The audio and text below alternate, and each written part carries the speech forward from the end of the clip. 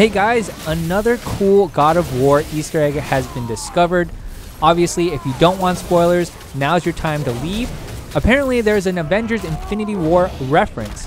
And the cool reference here is a Shattered Gauntlet, which is essentially the Infinity Gauntlet. In order to get the Shattered Gauntlet of the Ages, you're going to have to do Fafnir's Hoard quest.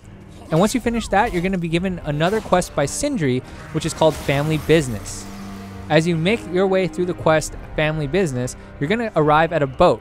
Here on the boat, you're going to see the son who betrayed his father has also been murdered. After picking up the whetstone, an angry traveler will bust onto the boat. Once you've defeated this traveler, you're going to receive the Shattered Gauntlet of Ages. The interesting thing about the Shattered Gauntlet of Ages is that it's an ancient relic of hell deemed too powerful to remain whole. Fragments of its former strength lie scattered throughout the realms. Here's our hint that it needs other things to power it up. In looking in the menus, it's an interesting talisman because it has sockets for other enchantments. As you upgrade the talisman, it increases the amount of sockets you can have. Once you've maxed it out, you're going to get three sockets. The talisman itself is not that great at first glance, especially with just random enchantments.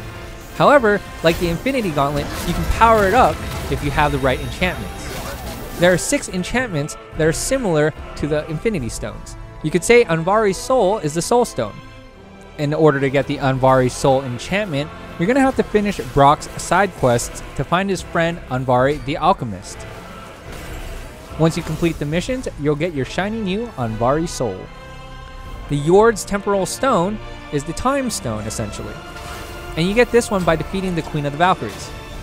The next enchantment is the Eye of the Outer Realm, which is similar to the Space Stone. This one's a little harder to get if you missed it the first time because it's tied into story. I believe after you've crash landed in Helheim, there's a door that's behind you that you could easily miss if you were just trying to progress through the story. You'll have to open the door to get the Eye of the Outer Realm. And this enchantment's really good because it gives you 7 to all of your stats. The next stone is Ivaldi's Corrupted Mind, which you could say is the Mind Stone. In order to get the enchantment Ivaldi's Corrupted Mind, you're going to have to beat Olrun, the Valkyrie in Alfheim. The next enchantment is the Asgard's Shard of Existence, which you could say is the Reality Stone. In order to get this, you'll have to defeat the Valkyrie Rota. And last but not least, there's Muspelheim's Eye of Power, which you could say is the Power Stone. This one you'll get by buying from Brok or Sindri from the blacksmith shop once you have enough resources. As long as you put one of these enchantments into the talisman, you're going to get a pretty cool power effect. However, if you put three of these stones together, and it doesn't matter which three, you're to get a cool laser missile type effect where it'll shoot a projectile and do quite a bit of damage. Remember to stay tuned to GameSpot for more God of War coverage, and we'll see you next time.